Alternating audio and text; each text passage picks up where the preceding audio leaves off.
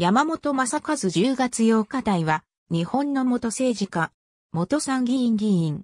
1927年生まれ、中国大連市出身。帰国後に、旧制大阪薬学専門学校に入学。卒業後は、三重県で教員として勤務。後に組合活動に参加し30県教職員、組合委員長などを歴任。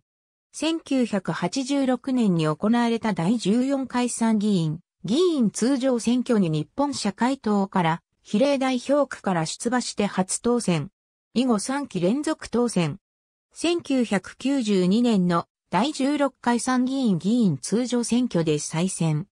1998年の第18回参議院議員通常選挙で社会民主党選出で比例代表区の名簿4位で当選。同祖出身の実力者として知られ、地元である三重県では北川正康を支援して当選させるなど30県政、社会民主党の影の支配者とも呼ばれた。中央では社会民主党副党首、社会民主党参議院議員会長などを歴任する。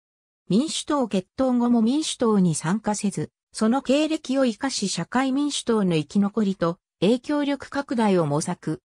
2001年には社民党、自由党、無所属の会の三党派による統一会派づくりを提案し、交渉を開始したものの当時社会、民主党幹事長であった福島瑞穂が反対したことを受け、交渉は不調に終わった。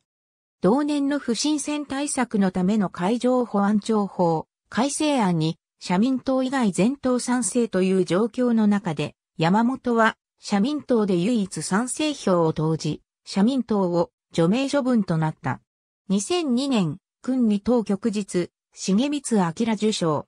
除名処分後は、無所属の会に入党。自由党、第二院クラブと共に統一会派、国会改革連絡会を結成した。2004年の第20回参議院議員通常、選挙には出馬せず、政界を引退した。2012年2月に、日本議員より第41回大倉騎七郎賞を受賞される。薬剤師の資格を持つ。ありがとうございます。